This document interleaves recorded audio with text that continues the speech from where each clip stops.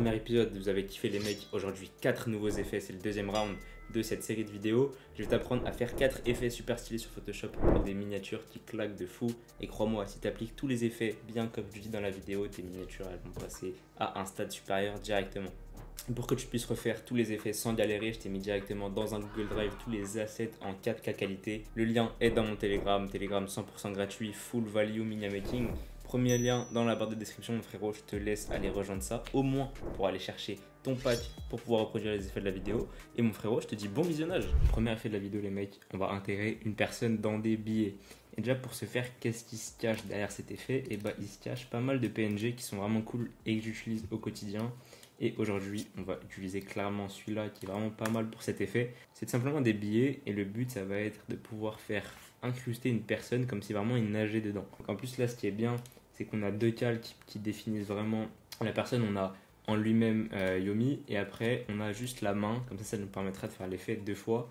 Et au fait, ce sera deux fois la même chose, juste qu'on va répéter un petit peu l'effet. Tu vois, les billets, tu les recalibres un peu comme tu veux. Tu peux les laisser comme ils étaient de base ou alors jouer un peu sur la position. Et après, il va falloir par contre, une fois qu'ils sont bien positionnés, les dupliquer deux fois impérativement. Donc, tu prends le billet ici, tu le dupliques une fois entre les deux et une fois juste à la fin.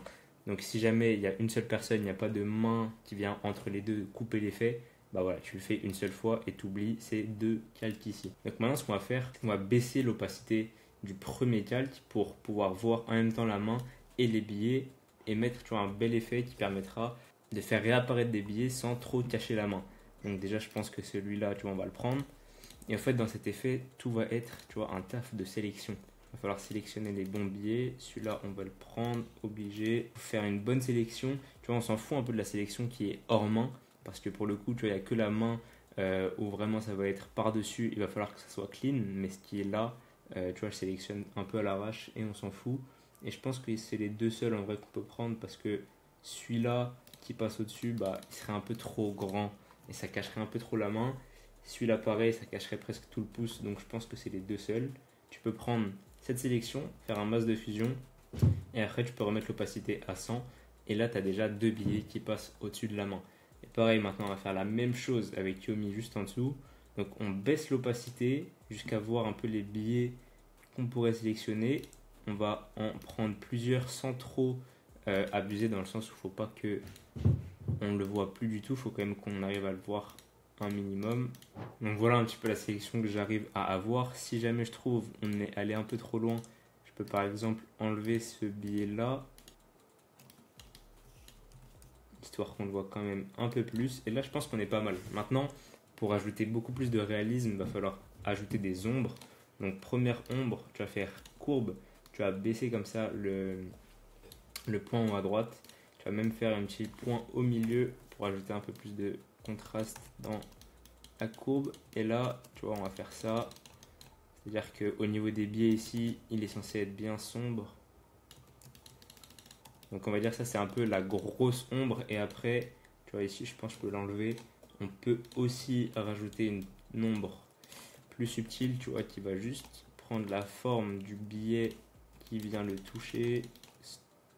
Le tout c'est que ça soit réaliste. Hein. Là pour Yomi on est bon, donc on refait pareil pour la main. Tu vois, c'est tout bête, tu vas venir là.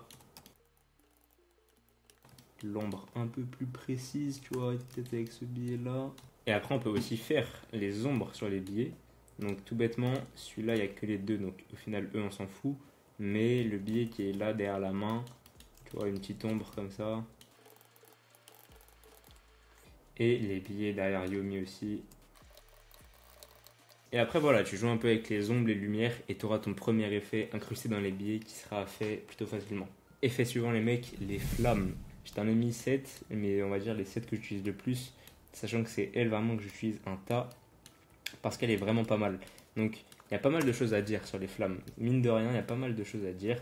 Déjà, premièrement, quand tu vois que le background, et ça, ça va être pour un peu toutes les images que tu vas mettre en overlay, quand le background n'est pas totalement noir. Et là, on a un bon contraste, tu vois. Ici, on va dire que c'est un peu plus, c'est du noir, je pense, peut-être à 100%, alors que ici, ça paraît être du noir alors que c'est du gris. Et en plus, le gris est plutôt clair. Donc si je commence à mettre un mode de fusion du genre superposition, quelque chose comme ça, et eh ben le gris, au fait, va aussi jouer sur le background. Pourquoi? Parce que, bah, en fait, c'est pas du noir. Donc ce qu'il faut commencer à faire, premièrement, c'est aller dans le niveau tu vas aller dans les noirs ici et tu vas les décaler jusqu'à en fait ça atteigne le gros pic, parce qu'il y aura souvent un gros pic. Et ça veut dire vraiment en fait que maintenant le gris est devenu noir. Une fois que c'est good, tu tu peux tout simplement prendre les deux calques et faire un objet dynamique. Maintenant, quand tu mettras superposition ou quelque chose comme ça, ça va bien s'incruster avec le background. Pour d'ailleurs les flammes, moi je vous conseille deux modes de fusion. Soit le superposition, si vous voulez des flammes un peu plus douces, soit le densité linéaire moins, si vous voulez quelque chose qui pète plus. Et ça, ça va être pareil pour les flares et pour tout ce qui va être en mode de fusion comme ça, en overlay. Donc pour celle-là, moi je vais utiliser densité linéaire moins ajout. Et les flammes, tu vois, ça se pose comme ça tout simplement si jamais je veux des flammes en dessous de lui. Et après, on va jouer avec les masses de fusion en gommant aux endroits qu'on veut pas. Sachant que il faut souvent, quand tu fais des flammes, pour qu'elles s'imprègnent bien avec ton, ton, décor, tu vois, au fait, tu vas pas mettre tout simplement cette image de flamme. Tu vas essayer de gommer à des endroits. Par exemple, ici, tu la veux pas. Tu essaies de gommer ça proprement avec bien sûr un pinceau qui a une dureté à zéro. C'est super important. Donc, tu gommes aux endroits que tu veux pas. Et après, tu tu reprends ta flamme, tu la remets autre part. Et ça va être ici un jeu de, euh, de placement pour essayer d'avoir déjà une flamme qui va être un peu unique, c'est-à-dire que c'est pas juste une image que tu as mis comme ça, tu vas un peu recréer ta propre image pour avoir vraiment ton effet que tu veux. Tu peux aussi, tu vas les prendre les deux dans un groupe et peut-être les rendre un peu plus rouges, ça dépend de l'image et du rendu que tu vas avoir. Et pour que les flammes ressortent bien, c'est très important d'avoir en dessous des flammes quelque chose de sombre. En dessous, il faut pas hésiter à avoir quelque chose de sombre parce que pour que une image en overlay ressorte, il faut quelque chose de sombre en dessous. Moi, si je te montre un peu comment est-ce que j'avais fait, donc c'est simple. J'avais mis au fait beaucoup de flammes en arrière-plan comme ça, et après j'avais mis juste 2-3 flammes ici au premier plan, et tu vois que j'avais bien assombri pour que ça ressorte bien, et je pense que même avec les ajustements finaux, ça c'est pas mal encore assombri, mais voilà un petit peu comment ton rendu doit rendre en fait. Et après en plus, ce qui est bien, c'est que tu peux jouer avec pas mal de flammes différentes, c'est-à-dire que par exemple le set, ça va être plus des étincelles, donc tu peux les mettre dans les corners, tu vois. Tu vas mettre superposition. Donc pareil, tu peux mettre un niveau, en fait, si le noir est pas assez noir, et si tu veux qu'on voit un peu moins, qu'on voit en fait juste les étincelles, pas toutes les lueurs qu'il y a autour. Et hop, après tu viens passer des petits coups comme ça. Tu peux même, tu vois, faire des petites déformations comme ça au niveau des flammes. Toujours en essayant d'avoir un rendu qui est réaliste. Et après, tu vois, et tu pourras avoir un rendu final aussi bien que celui-là facilement si tu sais un peu plus gérer les flammes. Ensuite, on passe à mon effet préféré de la vidéo, les mecs, le verre. Le verre cassé qui super bien dans une miniature, qui se fait euh, pas mal, mais qui se fait pas assez, je pense, pour le, niveau que ça peut, ça peut amener, en fait, tout simplement. Donc, c'est quoi, en fait, l'effet, ça va nous permettre, à soit de mettre des images dans un bout de verre comme ça, quelque chose que je faisais beaucoup à l'ancienne pour Paul Dena, je peux te mettre une miniature, exemple juste ici. Le but déjà c'est d'avoir des belles images comme ça qui te permettent de faire l'effet plutôt facilement. Pareil, hein, ici tu as pas mal de bouts de verre et celui-là c'est simplement le verre numéro 5. Il permettra quand tu le mets tu en densité linéaire moins ajout de jouer avec quand tu vas mettre des groupes qui vont être masqués avec des masses de fusion à certains endroits. Donc tu vas faire une sélection juste ici par exemple. On peut revenir là tu vas sélecter dans le groupe. Après, tu mets l'image que tu veux. L'image va rendre tout simplement comme si elle était au fait dans l'image du bout de verre. Et très très important, en fait, le bout de verre, tu vas le mettre tout au-dessus. Comme ça, tu auras déjà un petit peu plus de reflet. Si jamais il y a du reflet dans le verre. Et après, ce qui est bien aussi, c'est de pas bombarder tous les bouts de verre. Parfois, tu laisses des petits trous comme ça. C'est-à-dire que celui-là, hop, je peux le prendre. Je peux m'amuser soit à faire une sélection comme ça pour pas que ça aille partout. Bien sûr, tu refais un groupe impérativement. Et là, l'effet qui est pas mal, tu vois, c'est si jamais tu as vraiment un bout qui va être grand, une grande image, et que tu veux la dupliquer dans un autre bout de verre, ce qui est bien, c'est de décaler un peu l'image pour vraiment montrer que, euh, comme le bout de verre, ça va faire des décalages dont je pense, je sais pas comment ça se passe dans la vraie vie, bref, pour donner un effet un peu plus réaliste, tu peux faire en sorte que ça se décale. Tu as cette image qui illustre bien l'effet, et en fait, en plus d'intégrer les images tout simplement dans un bout de verre comme ça, pour réaliser ce genre de miniature, tu peux aussi faire un effet qui est vraiment incroyable. C'est tout simplement prendre ce genre d'image, tu vois, que je t'ai mis dans le pack. Tu peux prendre, on va dire, ce gros bout de verre qui est juste ici. Une fois qu'il est sélectionné, tu viens faire un petit CTRL J tout simplement. On peut, je pense, baisser la saturation entièrement du bout de verre. On met ça en objet dynamique. Par contre, là, on vient prendre la sélection. On refait un groupe avec la sélection. Je remets mon image juste en dessous et le bout de verre, je le passe, c'est quoi, en densité linéairement ajout comme ça. Tu mets ton image juste là et après tu mets, tu fais un groupe, tu l'appelles peut-être bout de verre. Tu peux le mettre en objet dynamique et après tu juste tu vois, à mettre un effet de flou directionnel ou quelque chose comme ça et tu peux faire voler tes images en bout de verre avec un petit par exemple un petit flou de tracé. Tu pourras faire bouger peux même mettre tu vois, des petits flares blancs comme ça, tu peux en mettre plusieurs sur chaque bout de verre. Ça rajoutera vraiment l'effet que c'est du verre et que c'est en train de briller. C'est un bel effet celui-là les mecs, je vous conseille de le mettre pas mal dans vos miniatures. En plus c'est plutôt simple, voilà, tu as juste à prendre les genres de bouts de verre que je t'ai mis dans le Google Drive, tu mets tes images dedans, des petits flares, des petits flous de tracés et ton effet il est déjà tout fait. Et ensuite les mecs on attaque le dernier effet, l'effet robotique qui se présente juste comme ça, qui va nous permettre de mettre la moitié d'une tête de robot sur une personne, avec en première étape, une étape clé quand même, qui va être de faire la retouche visage. Tu vois, c'est tous les calques que j'ai mis là, c'est pas le but de la vidéo. D'ailleurs, j'ai fait une vidéo retouche visage. C'est la première vidéo de ma chaîne, je t'invite à aller la regarder si jamais t'es pas prêt là-dessus. Ça nous permettra de préparer le décor avec l'ombre ici, mais ça c'est le genre de truc qu'on rajoute vers la fin. Euh, celle-ci également, et c'est plus au fait une courbe et une couleur bleue qu'on va rajouter à notre personnage qui nous permettra d'obtenir au fait un effet qui sera plus réaliste à la fin quand il y aura le masque, etc. Donc la courbe c'est celle-ci, je te la montre rapidement. Elle est simple, hein. tu rajoutes du cyan, tu rajoutes du bleu et ça te permettra déjà d'avoir une couleur qui est bien plus bleue pour préparer le terrain à ton robot. Ensuite, bah, je pense l'étape la plus importante, tu vois, ça va être de générer un robot qui passe crème.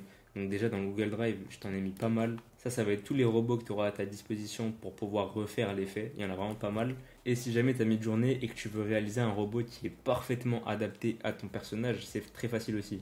Il suffit d'aller sur mid-journée, tu tapes un prompt qui est à peu près comme ça, tu vois. Tu lui demandes un humanoïde qui en fait va correspondre à la perspective de la personne que tu veux. Donc tu as juste à mettre la personne que tu as envie que ça représente tu envoies ça directement. Oublie jamais hein, de mettre les settings comme ça en 16 neuvième et tu mets V7 ou V6.1. Moi je préfère la V6.1 maintenant. Bon, pour le coup, la V6.1 m'a fait quelque chose de vraiment pas ouf, mais la V7, en vrai, tu peux en retirer pas mal de choses. Par exemple, ce mec, tu peux retirer tout ce qu'il a autour de l'oreille, le cou, etc.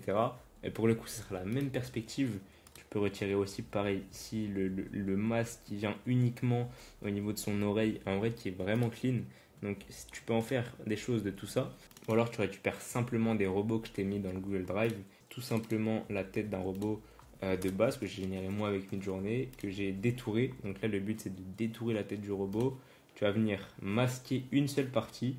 Et au fait là on va faire un gros travail de perspective. Donc c'est quoi? C'est que si moi maintenant je prends la tête du robot, que je la mets ici pour voir si ça matche bien, même si la perspective de base a l'air de bien matcher, tu vois, on peut essayer simplement de mettre les yeux dans les yeux, voir comment est-ce que ça rend. Tu vois directement que là, la bouche n'est pas forcément au même endroit et surtout le nez n'est pas au même endroit. Donc là, pour ce faire, ça va être un travail de bricolage à 100%. L'œil ici, il faut qu'il rentre dans l'œil. Le nez, il faut qu'il rentre dans le nez, etc. Et en même temps, il faut pas que le menton soit trop bas, enfin trop haut. Donc, donc en fait là, ça va être l'étape la plus compliquée. Il va falloir réussir, tu as vu, comme je t'ai fait ça, de mettre l'oreille, au fait, tout simplement avec un nouveau calque, de pareil, mettre les yeux avec un nouveau calque, le nez avec un nouveau calque, ça permet, tout en gardant en fait la base principale, de redessiner le robot. Et tu vois, quand ici il y avait la tête de moi, Marcus, avant, je pouvais mettre la perspective parfaite que je voulais. Pareil, là j'ai régénéré même avec Cilia parce que quand tu fais du bricolage, bah, en fait, as des problèmes qui arrivent comme ça. Et maintenant, plutôt facile de les corriger. Bam, un coup dia, le truc est corrigé. Et quand tu fais CTRL S, et ben là, normalement, tu essaies d'avoir l'effet qui passe le mieux avec le nez qui matche avec le nez, les yeux avec les yeux et la bouche avec la bouche. Et au pire, ça matche pas trop. Tu peux aussi aller dans édition, déformation de la marionnette. Là, tu peux faire des points un peu partout, histoire que ça soit plutôt fixe. Et après, tu peux bouger juste tu le crâne si tu trouves qu'il est trop haut. L'oreille, si tu veux la baisser un petit peu, tu peux la bouger aussi bouger hop, le menton, le nez. Et ça, ce qui est bien, c'est que ça te permet de rester dans un seul calque et en même temps de bouger pas mal les dimensions de ton robot. Ok, donc une fois que tu as compris ça, maintenant il va juste tout simplement falloir rendre ça plus beau et plus réaliste. Donc tu mets deux trois courbes. Donc là je te montre, hein. j'ai mis une courbe pour assombrir à droite, Là, j'ai mis une courbe, je pense, enfin une table de saturation qui, qui sature plus, tout simplement. Pareil, là, j'ai encore assombri à droite. Maintenant, sur le Marcus, il faut pas aussi oublier de mettre une ombre, en fait, qui va être à la bordure ici, entre le masque et sa tête. Faut pas oublier aussi de enlever les oreilles et toutes les parties si jamais il y a des trucs qui te dérangent ici tu les gommes tout simplement avec un masque de fusion. Après voilà, tu peux même mettre des lights au bon endroit. Bon là j'ai modifié un peu la perspective, du coup les lights elles sont plus au même endroit précisément qu'avant. Mais là l'effet il est fini, tu peux même jouer un peu avec des éclairs etc. Moi je me rappelle j'avais fait cet effet là d'éclair sur euh, cette retouche là précisément. Donc mon frérot, oublie pas de rejoindre le Telegram pour pouvoir acquérir toutes les ressources que je t'ai montré dans la vidéo et pour pouvoir voir toute la value que je mets dedans tous les jours pour te permettre de progresser à fond en mini making. J'espère que tu as kiffé la vidéo. Je te dis à la prochaine. Allez, salut mon